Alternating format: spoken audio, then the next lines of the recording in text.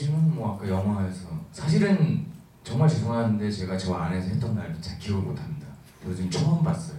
제가 저 얼마 했다는 건 처음 봤는데 보면서 느꼈던 것 중에 아, 대한민국은 여태까지 아까 말씀드린 군화에 신었던 그 양말처럼 한 번쯤은 뜯어내야 되는데 이거 뜯어내는 사람, 사람이 없었어요. 실험도 못했고 그리고 이거를 해줘야 이제 그 다음 세대가 살 수가 있습니다.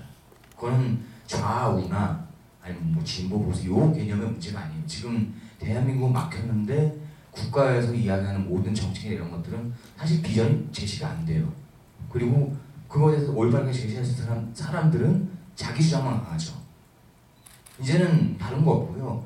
우리 후세대가 살 수 있는 먹거리 그리고 그 사람들이 안전하게 안전하다는 건 아까 얘기한 대로 그냥 정치 얘기 안 하고 뭐 얘기 안 하고 학교 끝나고 집에 오고 뭐 하고 가장 기본적인 데서 행복을 느낄 수 있는 그런 나라를 만들어 주는 거.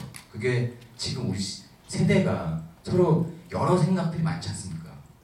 무슨 노사모도 있었고요, 모두 있었고요. 근데 그런 갈등을 이제는 덮고 목표 의식을 좀 글로 가져야 되지 않겠냐. 그게 궁극적으로 노무현 대통령이 어쩌면 생각했던 어, 새로운 노무현 정신이다. 영화 보면서